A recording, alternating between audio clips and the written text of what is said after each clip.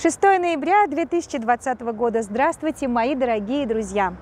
Сегодня у нас в Иерусалиме совершенно прелестная погода. Настоящий э, осенний день с пушистыми облаками, с солнышком, которое сквозь облачка проглядывает. Прошли два довольно сильных дождика, так что все такое свежее, зеленое, ароматное, и мне ужасно захотелось взять вас погулять.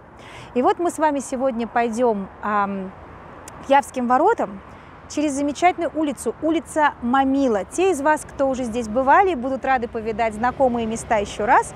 Ну, а те, кто не бывали, увидят и узнают что-то совершенно новое. Ну что же, в путь. И вот видим здесь наших сограждан, которые явно собираются на демонстрацию идти или возвращаются, наоборот, с демонстрации. У нас по-прежнему в стране все довольно неспокойно, но мы с вами сейчас не об этом. Так вот, идем мы к улице Мамила по улице Агрон. Сама по себе она тоже очень интересная, ну, все по порядку, да, не можем охватить все сразу. Пока покажу только вот парк с левой стороны, замечательный парк независимости, так называемый. Мы его называем парк ворон, поскольку здесь очень много ворон в этом парке и очаровательный совершенно есть ручеек. Мы с вами идем к Мамиле по улице Агрон, которая сама по себе очень интересная. Здесь много старинных домов по правой стороне. Вот впереди виднеется красивейшее здание отеля «Ориент».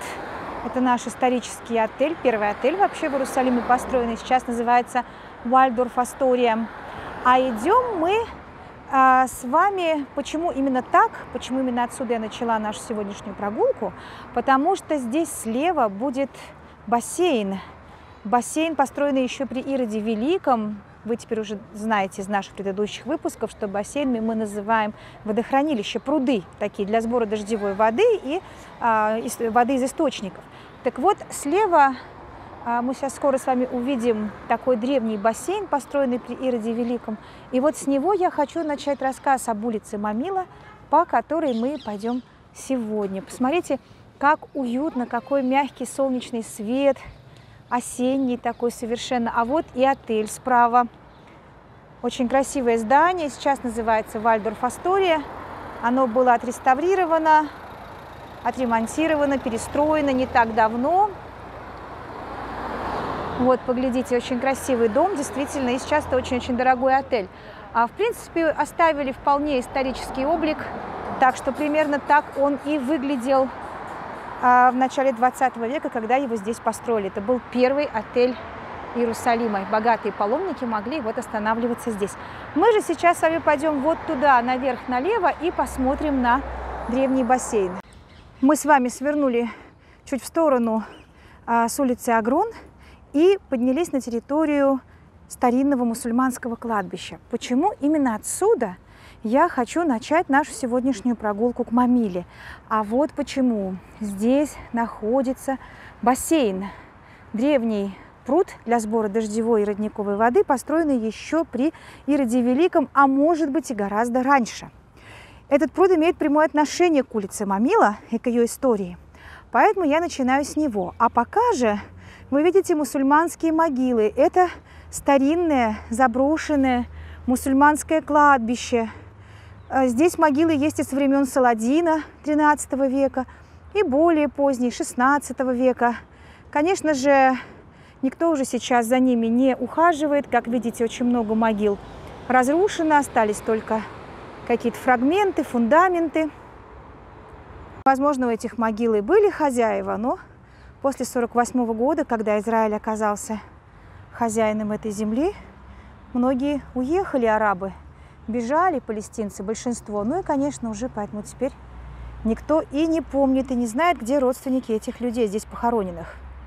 Ну, а вот этот самый пруд, к которому я вас сейчас вела, сейчас мы с вами в дырочку пролезем. Как всегда, в любом заборе есть дырка – вот такой огромный водоем был построен здесь во времена Ирода Великого. А может быть и гораздо раньше, точно мы этого не знаем. Но знаем, что соединены были два пруда, этот и бассейн Султана. Помните, в котором концертный зал такой под открытым небом? Мы оттуда делали передачу и разговаривали с вами про театр. Помните? Вот. Так вот эти два пруда были соединены между собой. И вода текла по тому месту, которое теперь называется улица Мамила или называлась раньше район Мамила, по которому мы пойдем с вами к Явским воротам. Таким образом, вода поступала в царский дворец. У Ирода Великого было очень много всяких нововведений, новшеств таких технологических а, того времени. И вот как раз-таки одно из них было то, что в его дворце всегда было обилие свежей питьевой воды, поступавшей из двух вот этих прудов, соединенных один с другим. Сейчас здесь нет воды, а, но когда пойдут сильные дожди, вода здесь накопится. И опять же, когда-то в прошлые года иерусалимские мальчишки здесь купались и ловили лягушек. Лягушки бывают, но сейчас их нет, потому что маловато водички еще. Ну а мы с вами идем дальше к улице Мамила.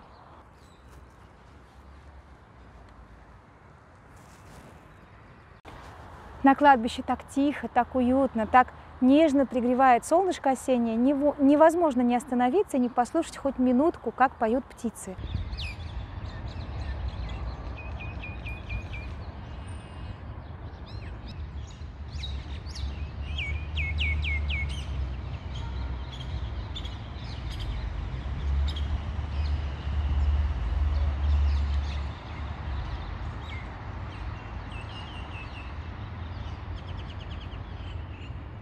Прошлогодний миндаль.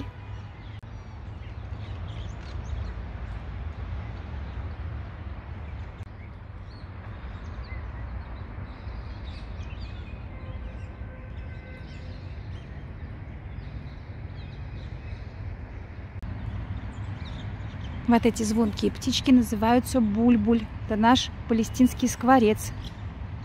На кладбище, как и на всех пустырях в Иерусалиме, очень много попугайчиков живет. Вон, смотрите, какой красавец. Ягодками лакомится на дереве.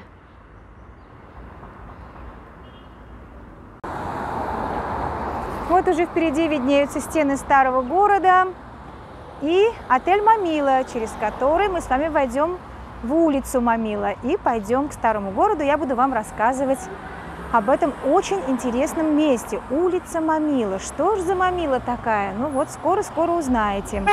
Вообще должна сказать вам, что осень, вот такое время года, как сейчас, ноябрь, самое приятное время для прогулок, потому что у нас наконец-то не жарко. И в былые-то времена, конечно, каждый день были мы на работе с паломниками, потому что в ноябре больше всего приезжало к нам групп.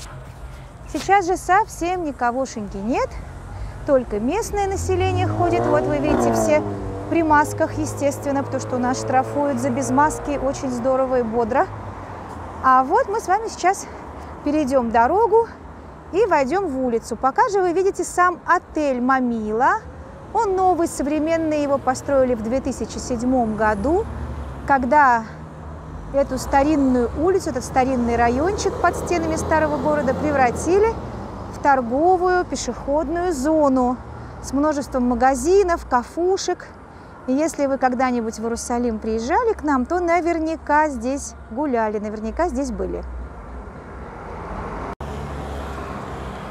Вот здесь, на этой улочке, обычно парковали мы с Саидом, водителем нашим, свой автобус большущий, белоснежный лайнер, и шли с вами к Явским воротам. Ну, а иногда некоторые группы могли ходить и ровно так, как мы идем с вами сейчас. Почему?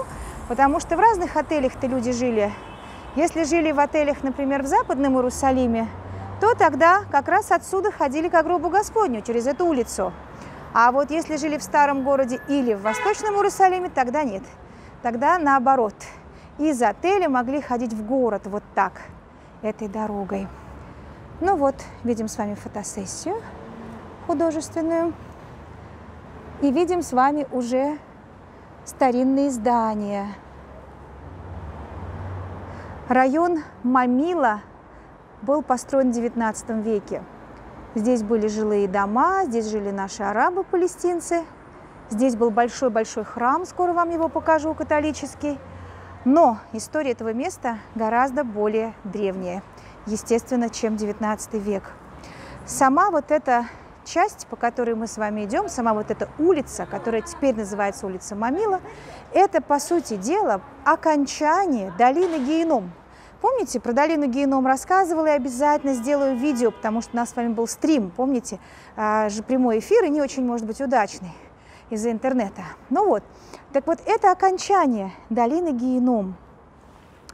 И вот а, по этой долине текла вода, как я вам уже говорила, в бассейн Султана. А, зимой, естественно, когда открывались сильные ливневые дожди, да, переполняли тот бассейн, и вода текла, здесь была водотечь устроена. В 614 году, 7 век, персы захватили Иерусалим.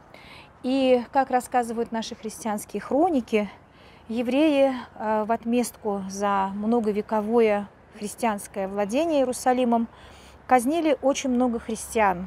Казнили их вот в этом самом бассейне, бассейне Мамила, с которого мы с вами начали нашу сегодняшнюю прогулку. И э, хоронили этих христиан здесь, вот в этой долине. Здесь была водотечь, но водотечь была же под землей, соответственно, по поверхности земли было много погребальных пещер, по склонам долины. И вот здесь хоронили, хоронили э, христиан. Поэтому впоследствии, когда персов уже прогнали, здесь был построен большой храм. А, храм, который, как предполагают, носил имя мученика Вавилы. Был такой мученик Никомедийский, Вавила, пострадал он в, начале, в конце третьего, начале IV века, и он был э, старцем, священником, у него было 84 ученика, мальчика, которых он учил вере Христовой. И вот все они вместе и пострадали. И говорят, что арабы храм в честь мученика Вавилы постепенно стали называть Мамила. И вот так возникло название этого места, это, этой долины, этого впоследствии жилого района, который здесь возник, прямо у стен старого города. Кстати, есть раскопки этого храма, правда, недоступные для нас, но археологи знают об их существовании. Они находятся под фундаментом подземной парковки вот этого торгового комплекса, этой торговой улицы Мамила. Ну, а мы с вами видим здесь большое количество всяких магазинчиков, ресторанчиков. Сейчас, естественно, все по причине коронавируса закрыто, но когда было открыто, здесь были очень дорогие магазины. То есть это, можно смело сказать, самая такая дорогая улица во всем Иерусалиме. Ну, что здесь интересного продавали? Ну, вот, в частности, магазин Ахава. Это косметика Мертвого моря, знаменитая. Вот художественная галерея с весьма странными, прямо скажем, произведениями искусства, но на вкус и цвет товарища нет. Может быть, кому-то и хочется иметь дома вот такую скульптуру, например. Вообще на Мамиле всегда были выставки искусства разные всевозможные. Вот последнее, видимо, до коронавирусное так и осталось. Пока что стоять вот эти все скульптурки, они продаются за очень большие, конечно, нули и цифры. Это наши местные художники такой вот изготавливают.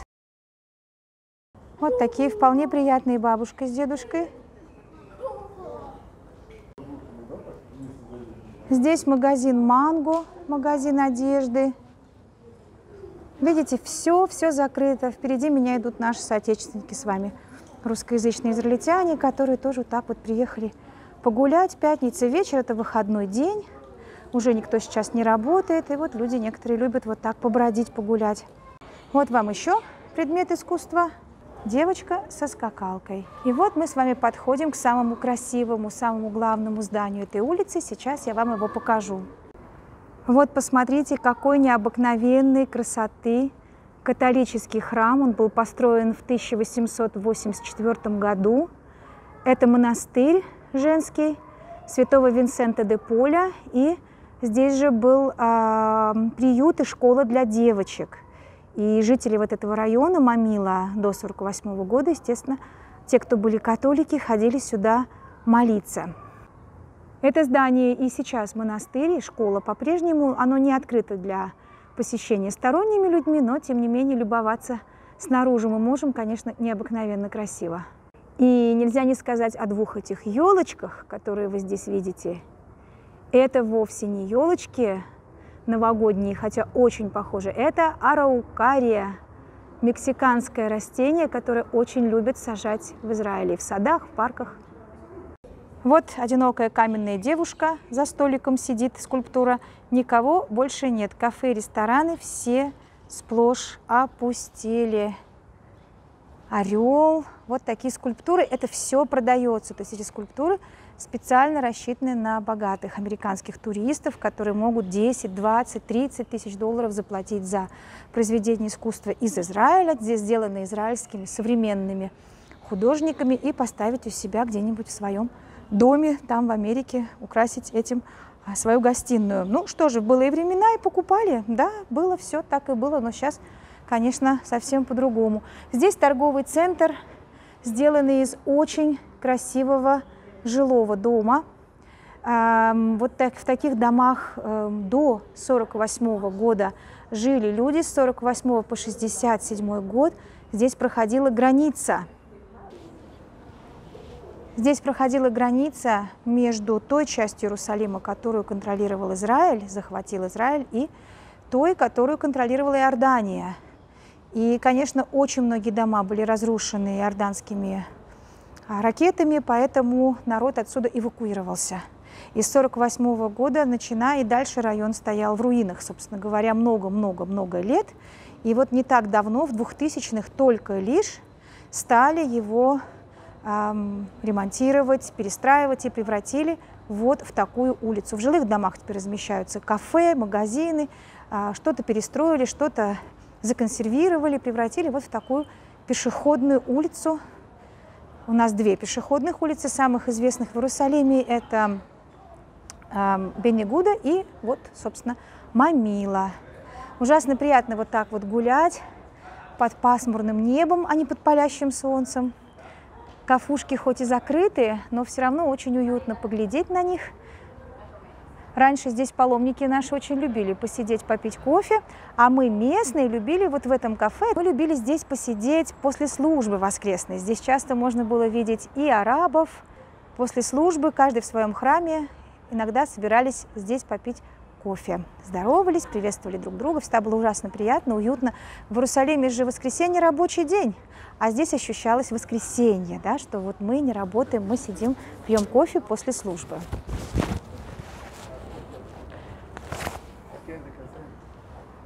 Еще один магазин одежды. Здесь очень дорогие магазины. Мы местные здесь покупали одежду весьма редко, только когда какие-то скидки бывали особые, а так, в принципе. И вот уже впереди мы видим с вами лестницу, по которой мы сейчас поднимемся, и уже все из вас увидят знакомые места, даже те, кто не бывали, потому что тысячу раз видели и в моем блоге, и в других. Вот она и лестница, которая из района Мамила, с улочки Мамила, выводит нас с вами прямо к старому городу. Ну вот, мы с вами поднялись по этой лестнице и пришли к стенам старого города, к самым-к самым Явским воротам. Как вы видите, деревья стоят без листьев, потому что у нас в Иерусалиме сажают довольно много деревьев, которые европейские, и они на зиму сбрасывают листики. Так что вот этот вид, ветки без листьев и стены, самая такая наша, можно сказать, иерусалимская осень. Ну и отсюда, конечно, нам с вами открывается вид потрясающий от Явских ворот на западный Иерусалим. И на западе мы видим тучи. Помните из «Мастера и Маргариты»? Мгла, пришедшая со Средиземного моря, покрыла ненавистный прокуратором город. Всегда тучи и облака приходят к нам с запада, от Средиземного моря. Ну вот, через Явские ворота можно пройти в старый город, в храм гроба Господня. Храм, кстати, открыт а, для посещения. К самому гробу Господню приложиться, к сожалению, нельзя – а, но к Голгофе, камню помазания можно. Службы, правда, идут при закрытых дверях, но хотя бы так уже тоже хорошо. А я же была счастлива поводить вас сегодня по Иерусалиму. Вы знаете, вообще Вот для нас, гидов, это такая радость, что сейчас можно показывать вам наши города любимые без туристов, без обилия народа. Вы можете все рассмотреть, вы можете почувствовать атмосферу, можете погрузиться вместе с нами. А, это, это потрясающе, что не спины людей у вас да, постоянно перед глазами. И вот у нас на Топусе будут два замечательных совершенно события в прямом эфире, которые я всячески приглашаю вас не пропустить. В субботу, завтра, в 15.00 по Москве будет лекция «Христианские святыни Италии» от нашей Марии Шургиной. Подробности читайте на странице «Прямой эфир». Эта лекция уникальная, потому что Мария охватит ну, буквально все самые главные места и покажет нам их с вами. А в воскресенье же вас ждет онлайн-экскурсия, то есть экскурсия в прямом эфире от нашего нового автора, от экскурсовода из э, Чехословакии. Это э, гид Александра Петрякова, она лицензированный гид по Праге. И Александра возьмет нас смотреть осеннюю Прагу, гулять по осенней Праге, по самой главной ее исторической части, это Вышеград, это их как бы старый город. Необыкновенно красиво, я уже видела немножко кусочки, видела фотографии, но это будет прямой эфир, то есть это будет живая прогулка в прямом эфире в 16 часов в воскресенье. Не пропустите два этих события. Эти лекции и экскурсии, как всегда, бесплатные, но естественно, что каждый из вас по мере сил, кто может, кто желает, поблагодарите авторов, если вам понравится, потому что сейчас, конечно, положение гидов остается безнадежным в смысле работы, и поверьте, это очень-очень трудно. Но мы бодримся, мы держимся, мы с вами, хотя и в онлайн-режиме, мы хотим делиться с вами родными местами, делать то, что мы любим и умеем. Я вас всех обнимаю, желаю вам хорошего вечера и до встречи завтра на лекции Марии Шургиной «Христианские святыни Италии». Ссылочка здесь, переходите, почитайте подробности. Не пропустите, время московское.